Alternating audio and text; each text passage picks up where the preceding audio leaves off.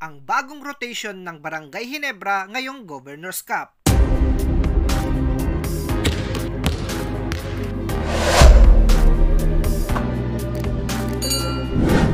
Dalawang taon na nga ang nakakalipas mula nung huling maglaro itong si Justin Brownlee sa Barangay Hinebra.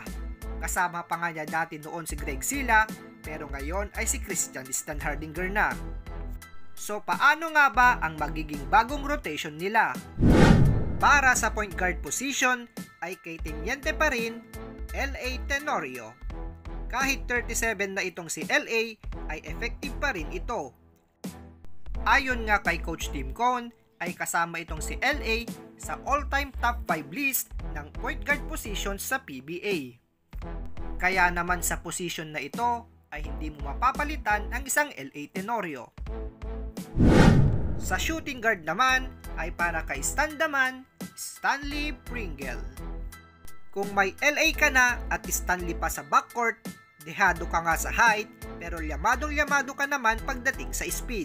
Samahan mo pa ng veterans experience at high IQ plays.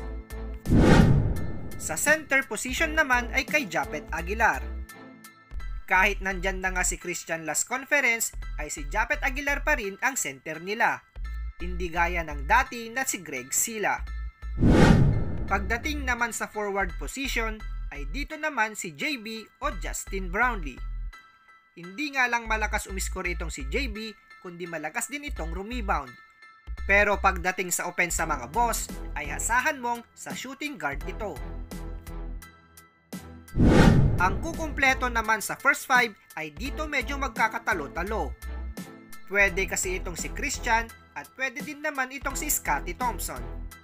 Pero para sa akin mga boss, kay Scotty Thompson ako. Alam naman natin na nagkampiyon na ang Hinebra na walang Greg Slaughter noon.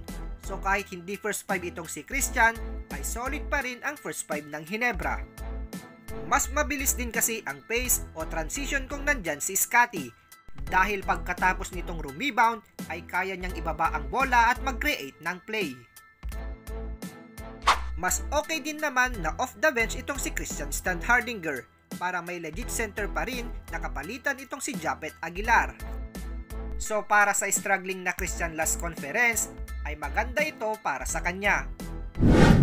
Ang papalitan naman ni Sidnon Wubere ay si Scotty Thompson pero pwede din naman pamalit itong si Joe Devance. Si Aljon Mariano naman kay Justin Brownlee at Prince Caperal kay Christian o Japet Aguilar. Jeff Chan o Jared Dillinger naman para kay Stanley at balik Scotty Thompson at Jasper Ayaay kay L.A. Tenorio. So sa daming pwedeng maging point guard sa Hinebra ay pwedeng mag-reshuffle ang positions nila. Ang importante dyan mga boss ay solid ang first five nila na pwede ding tumapos sa laro. Para naman sa ibang players ng Hinebra ay alam naman natin na bihira din gamitin ang mga ito. Lalo na't nagbabalik isang Justin Brownlee na pwedeng umagaw sa pwesto nila.